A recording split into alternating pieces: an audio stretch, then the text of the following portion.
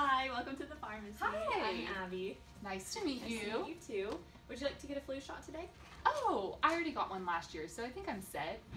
Okay, well actually you need to get a flu shot every year because the circulating strains change and your immunity will fade. Oh, well, my friend on Facebook got the flu shot and she actually got the flu, so I, I don't think I want to do that. Well actually the flu shot is inactivated so it's not a live virus so it can't actually give you the flu. Oh, well, I don't need to get the flu shot. It's already February. I feel like that I would have already gotten it by now. Well actually getting the flu shot anytime during the year can help reduce your risk of actually getting the flu. Oh.